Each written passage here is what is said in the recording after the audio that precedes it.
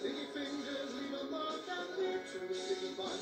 Every clue will be collected and examined by a